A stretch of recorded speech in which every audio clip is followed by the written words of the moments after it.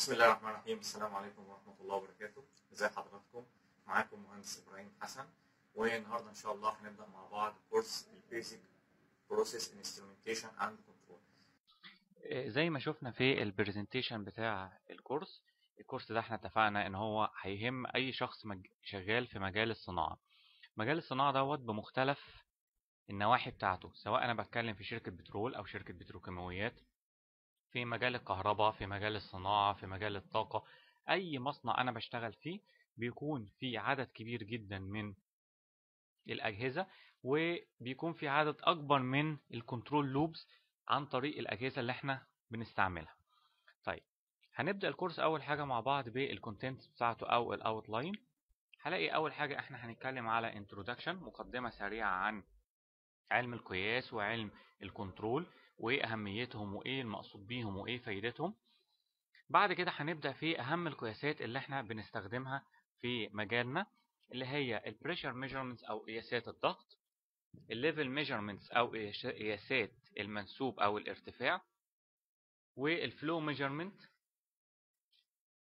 وال temperature measurement أو الحرارة وآخر حاجة هنشوفه نبذة سريعة عن ال DCS وال SCADA دي كده ال content بتاعه ال course بتاعنا وإن شاء الله تكون تغطي كل التوقعات اللي إحنا محتاجينها علشان تفيدنا في مجال عملنا.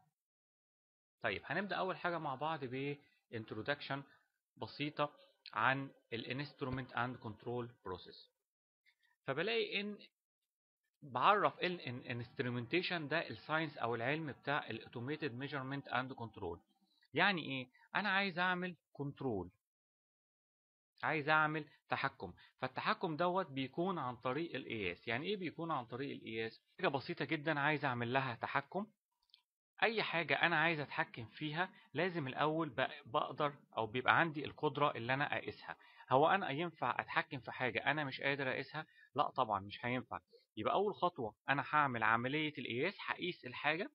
وبعد كده من خلال عملية القياس ديت أقدر اللي أنا أتحكم فيها. فبلاقي إن علم القياس دوت ده علم كبير جدا ومنتشر جدا وموجود في الأبحاث الحديثة اللي موجودة دلوقتي.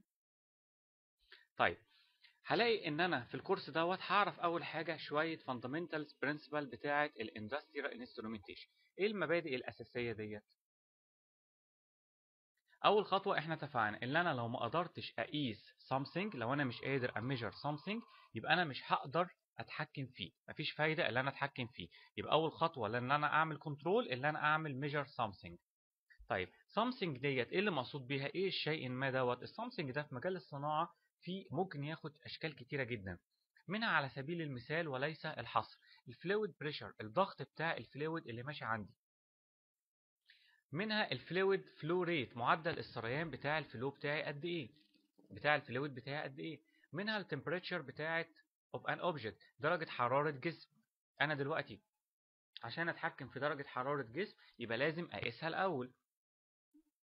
منها ال fluid volume stored in vessel الحجم بتاع السائل اللي متخزن جوه وعاء أو جوه tank منها التركيز الكيميائي ال chemical concentrations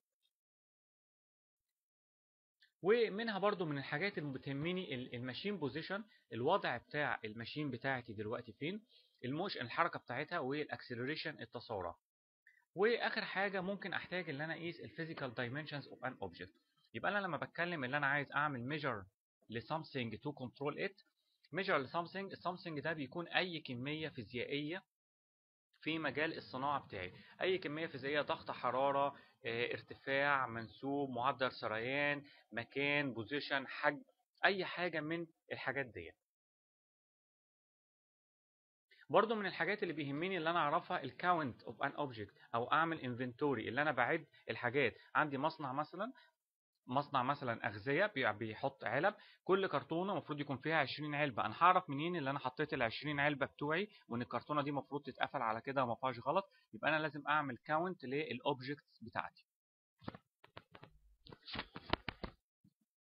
برضو أبسط الحاجات اللي إحنا بنحتاج نقيسها في حياتنا العملية بعيدا عن مجال الصناعة خالص أو بعيدا عن أي حاجة كبيرة ال electrical voltage الجهد الكهربي والأوم أو ال resistance بتاعتي المقاومة وال current اللي هم الثلاثه الثلاث fundamentals بتوع قانون أوم V بيساوي I في R الجهد والتيار والمقاومة. دي أبسط صور القياس اللي أنا بستخدمها في حياتي العملية. طيب خلاص أنا قدرت إن أنا أقيس ال quantity أو الكمية بتاعه ال object دوت. طالما قدرت إن أنا أقيسها خلاص يبقى أنا هقدر أتحكم فيها. إزاي؟ ال signal اللي أنا قستها ديت أو الكمية ال quantity اللي أنا قستها ديت هتبدأ تروح ل indicating or computing device. هتروح ل device لجهاز الجهاز دوت ممكن يكون indication بس مجرد إن هو يعرض لي الكمية اللي أنا قستها قد إيه أو بتروح ل computing وطبعا معنى كلمة computing إن ده حاجة بقى كبيرة أنا هبدأ أدخل في حسابات وأعمل processing والكلام ده كله. وبتطلع ال computing دوت بيطلع يطلع لي decision بيطلع لي قرار. القرار ده بناء على إيه؟ بناء على المعادلات أو ال ال ال program اللي أنا حاطه فيه وبناء على الكمية اللي أنا قستها. ال signal اللي هتطلع من الكمبيوتر دوت أو من ال computing device أو من ال human أو من الشخص نفسه أنا ممكن ال ال الإشارة أو الكمية اللي أنا قستها دي أبعتها لواحد واحد يقراها وهو اللي ياخد القرار.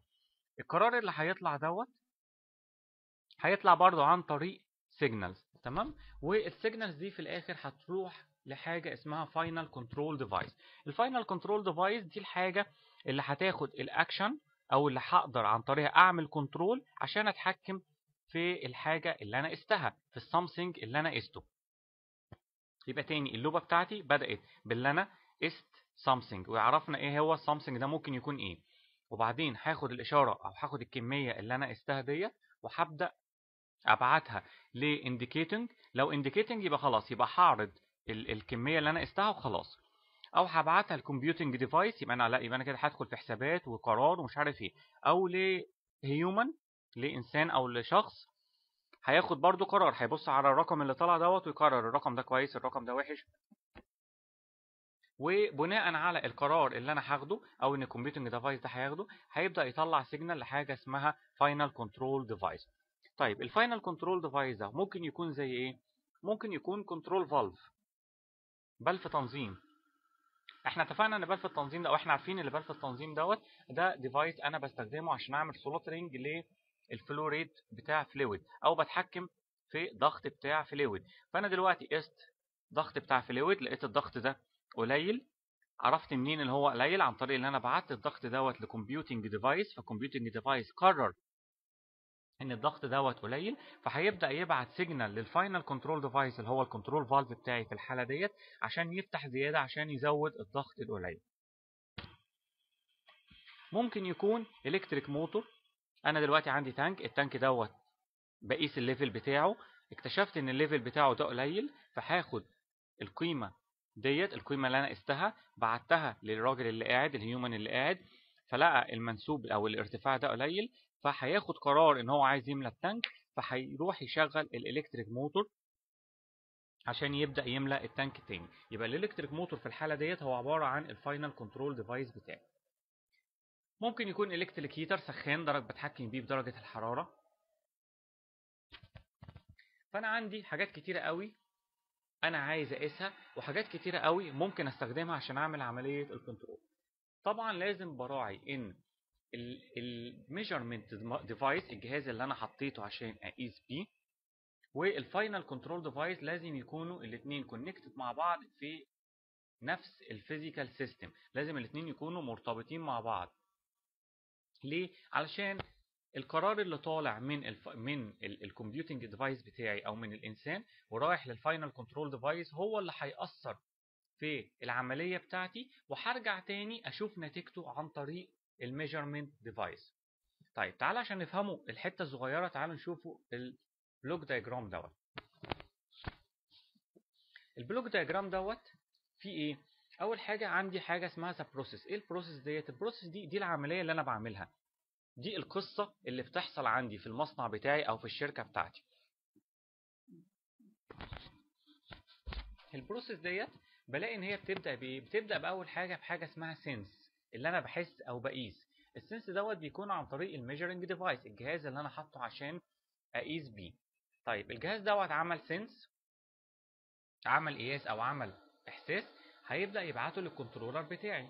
ال controller بتاعي دوت أو الإنسان اللي قاعد دوت أو ال computing اللي قاعد أو أو أو هيبدأ يشوف القيمة اللي طالعة ديت ويشوف القيمة دي كويسة القيمة دي زيادة القيمة دي قليلة. فهيبدأ ياخد decide يبدأ يقرر يطلع decisions ال decisions ده هيروح لمين؟ هيروح لل final control device اللي إحنا اتفقنا ال final control device ده ممكن يكون ال control valve ممكن يكون heater ممكن يكون electric motor whatever هيجي ال final control device دوت هيبدأ ياخد اكشن في ال process بتاعي ومن خلال ال process أنا هرجع تاني أعمل measuring وال measuring القيمة ال measure تروح لل controller وهكذا. هتفضل عندي loop مقفولة مستمرة باستمرار. قست فكرت وخدت قرار نفذت. دي كده الثلاث خطوات المهمة جدا اللي أنا بستعملها أو اللي هي بتدخل في ال process بتاعتي. طيب لو شفنا مثال بسيط قوي اللي هو الهوم سيرموستات أنا دلوقتي عندي التكييف في البيت. التكييف ده بظبطه على درجة حرارة معينة. بلاقي إن لو الجو بدأ يحرر بدأت الحرارة تزيد عن درجة الحرارة دي هيروح جاي التكييف بتاعي يشتغل ويبدأ يسقع عشان يخفض درجة الحرارة. طيب بدأ يسقع ويخفض وصل لقيمة اللي أنا مظبطها عليه اللي هي مثلا 20 درجة بلاقي إن الكمبريسور أو التكييف بتاعي بيفصل علشان خلاص أنا وصلت للقيمة اللي أنا عايزها. طيب وصلت للقيمه اللي أنا عايزها. هثبت عليها على طول. لأ دي هتقعد شوية وهتبدأ درجة الحرارة تعلى تاني. يروح هو جاي شغال تاني. يبقى أبسط مثال لعملية ال process عامة اللي هو ال home thermostat تمام؟ اللي أنا بستخدمه عشان أظبط درجة الحرارة بتاعة الغرفة.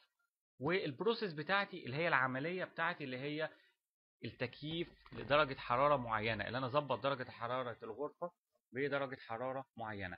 فبلاقي في المثال بتاعي دوت السيرموستات اللي جوه التكييف عنده اتنين function ليه وظيفتين.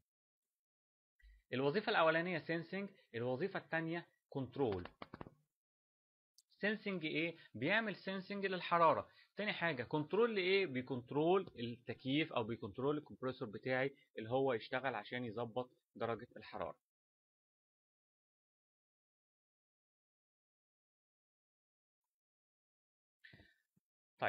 أنا دلوقتي اتفقت اللي أنا عايز ال conditioner بتاعي أو التكييف بتاعي أو الجهاز اللي بيعمل sensing قاس درجة الحرارة. طب درجة الحرارة اللي قايسها ديت مفروض إن هو عايز يقارنها بدرجة حرارة معينة أنا حاططها له بنفسي.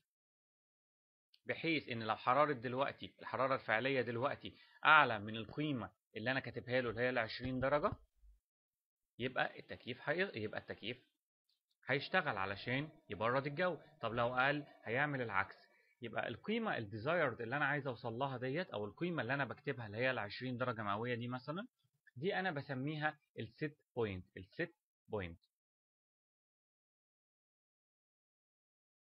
بلاقي إن في مجال الصناعة عندي شوية مصطلحات أو عندي شوية terms كده منفردة ما بتتكررش. الحاجات ديت لازم نعرفها مع بعض ودي ثابتة هلاقيها في أي مجال من مجالات الصناعة. طب تعال نشوف بعض ال common instrumentation terms ديت والمعاني بتاعتها.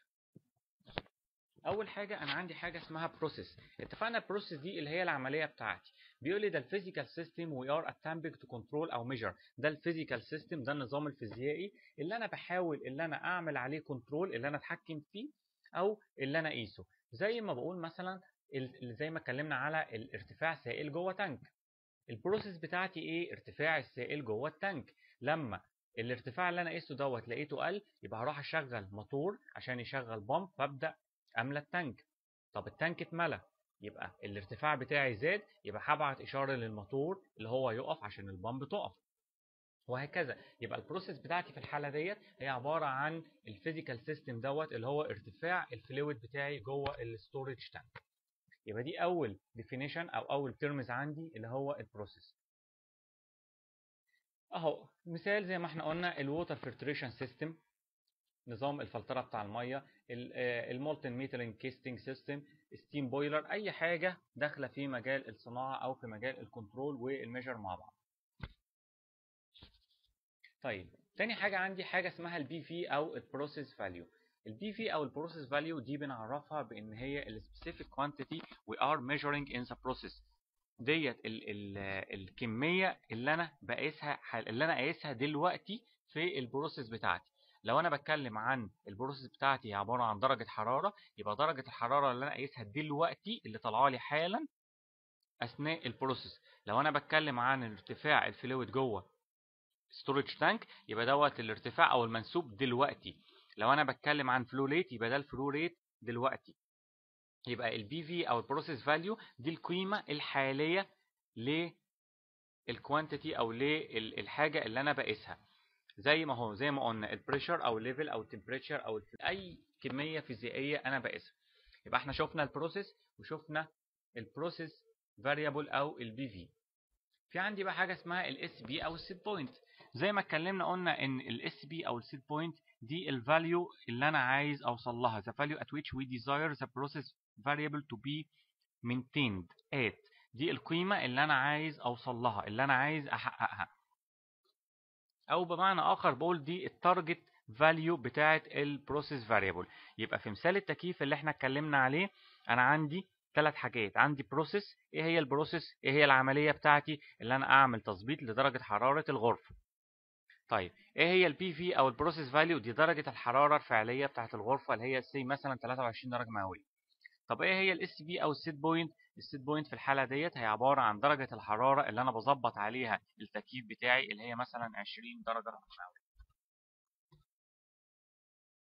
طيب في عندي حاجة اسمها برايمري سensing element أو البي اس اي إيه البرايمري سensing element من اسمه كده ده device ده جهاز الجهاز دوت هو اللي بيحس مباشرة بال process value ده الجهاز أول جهاز أو أول حاجة أنا بحطها على ال ال العملية بتاعتي أو بحطها على الحاجة اللي أنا عايز أقيسها وبيبدأ هو يقيسها. طيب بعد ما بيقيسها بيبعت الكمية المقاسه أو ال sensed quantity بيبدأ يبعتها في شكل analog representations بيبعتها في شكل signal analog signal analog زي إيه؟ زي الالكتريك فولتج أو الكرنت أو الريزيستنس أو الميكانيكال فورس أو الموشن أي حاجة.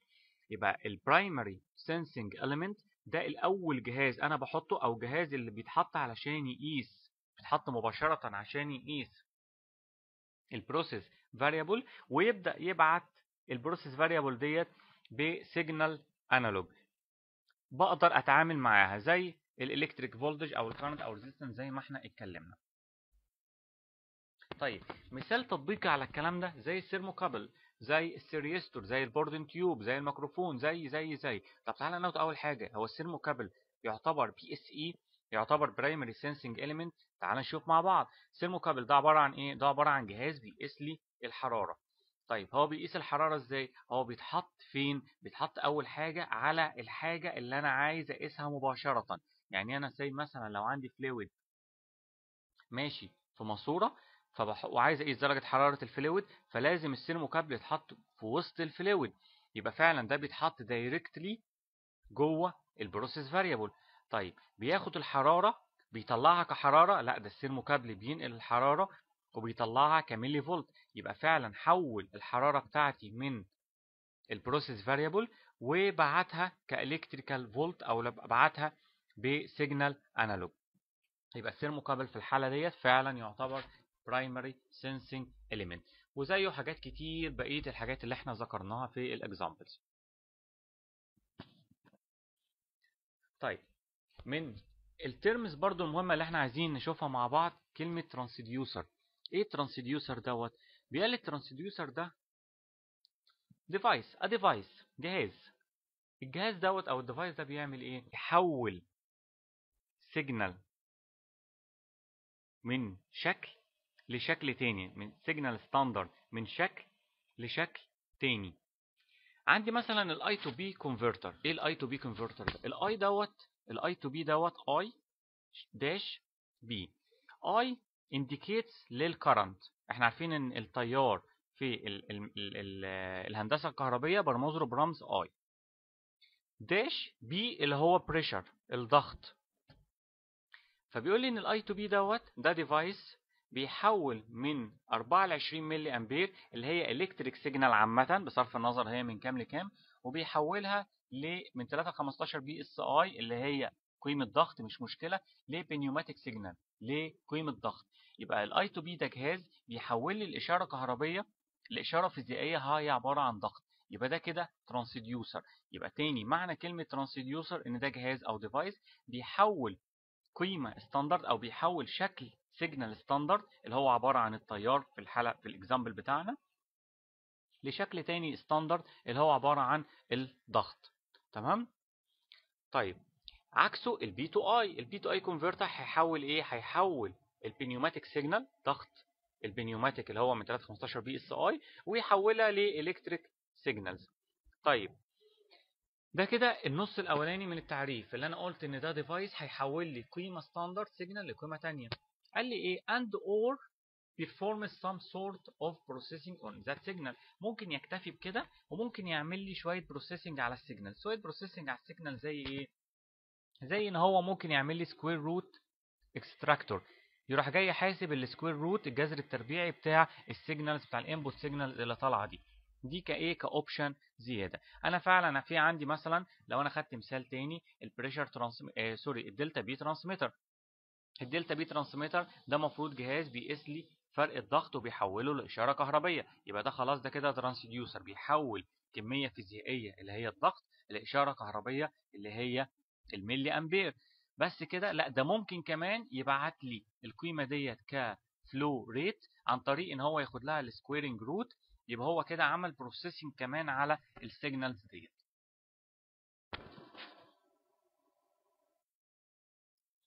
طيب إحنا لما اتكلمنا على ال transducer إحنا اتكلمنا على ال transducers بوجه عام. إن ده جهاز بيحول من صورة لصورة. في حاجة عندي بقى اسمها transmitter. بيقول لي إن ال transmitter دوت ده عبارة عن device جهاز برضو.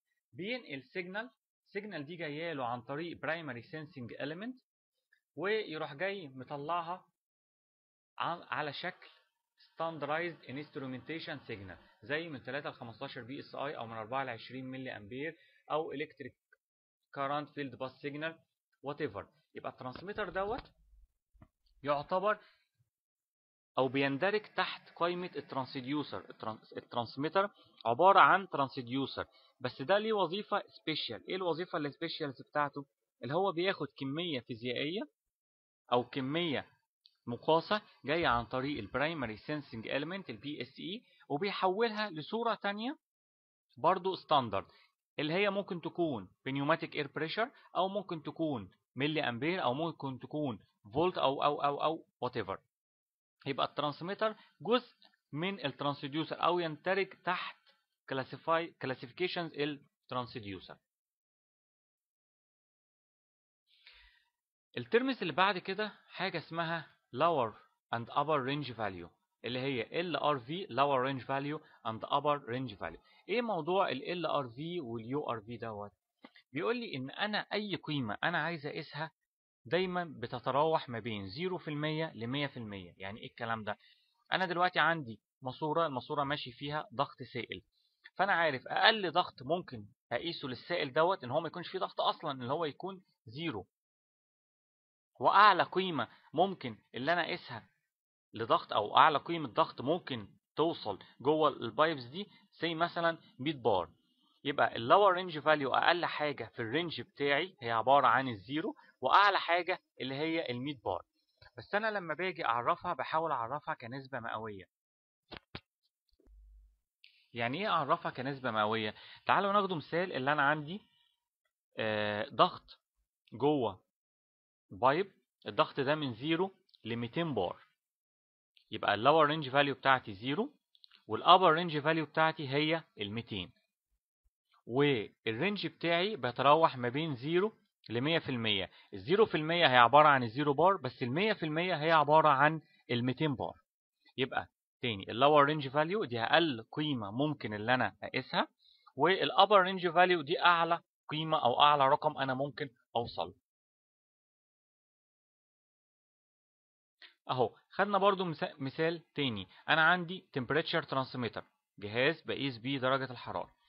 فبيقول لي إن ال range بتاع ال transmitter بيبدأ ما بين 300 درجة مئوية ال start بتاعه بدايته 300 درجة مئوية وبيقف أو آخره 500 درجة مئوية.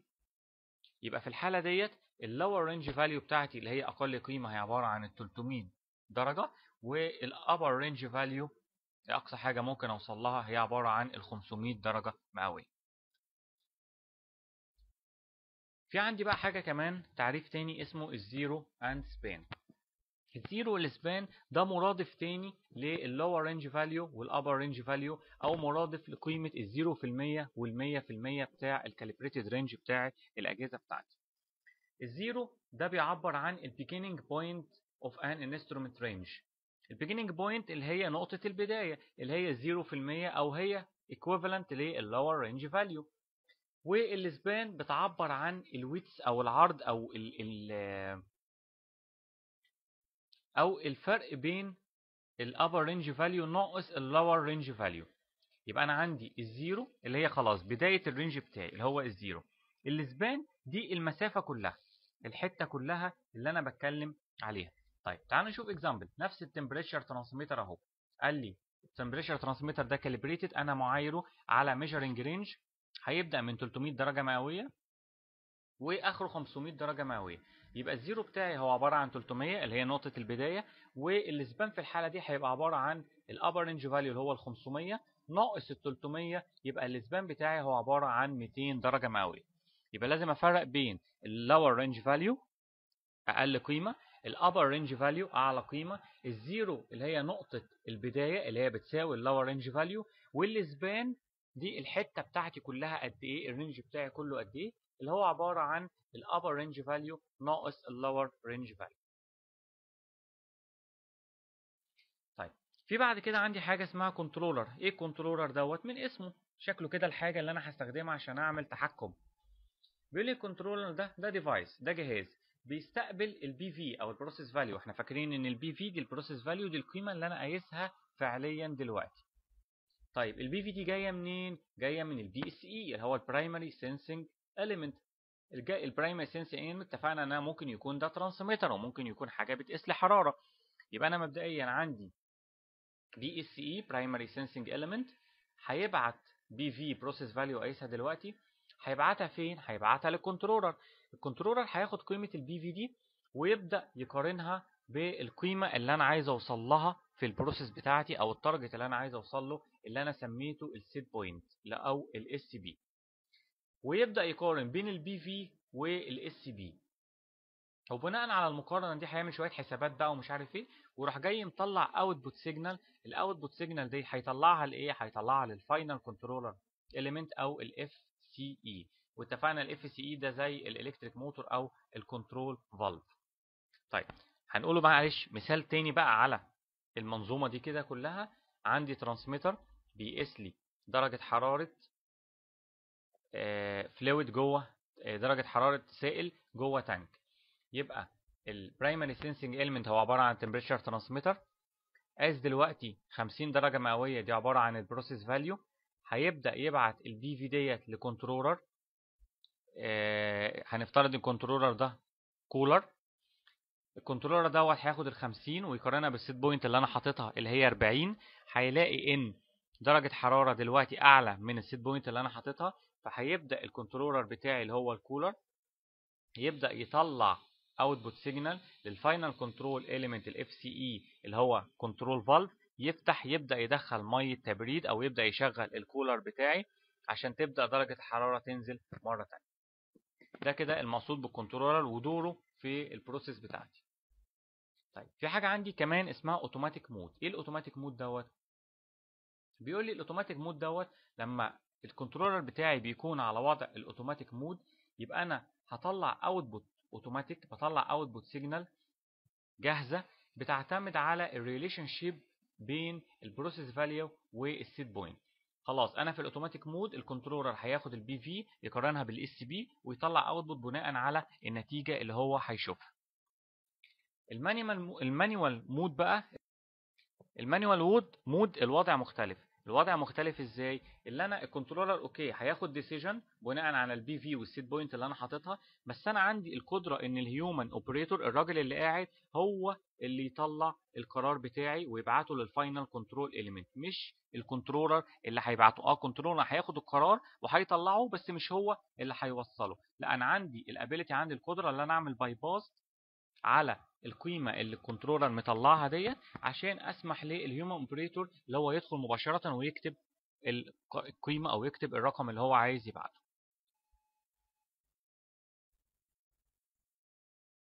طيب تعالوا نشوفوا ال- المثال دوت دي دايرة control ظريفة قوي. الدايرة دي عبارة عن إيه؟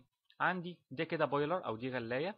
والغلاية ديت مفروض ان أنا بدخل المية من هنا عندي pipe داخلة مية بتحكم في كمية المية اللي داخلة عن طريق control valve air operated control valve وبعدين المية دي المفروض هتمشي في شوية مواسير وتطلع في ال drum اللي فوق دوت.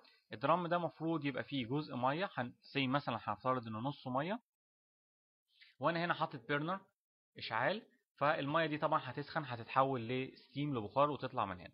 لازم ال controller بتاعي أو ال process بتاعتي اللي أنا حافظ على ارتفاع أو منسوب أو كمية المية هنا جوه ال drum منسوب المية جوه ال drum في مستوى معين.